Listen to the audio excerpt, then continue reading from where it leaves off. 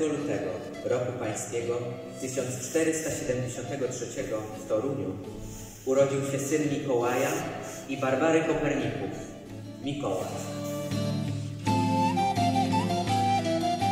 Po studiach w Krakowie kształcił się na uniwersytetach w Padwie i Bolonii. Interesował się starożytnością. Mikołaj Kopernik zasłynął z odkrycia, że to Ziemia krąży wokół Słońca, a nie odwrotnie. Astronom wyniki badań przedstawił w swym dziele o obrotach sfer niebieskich.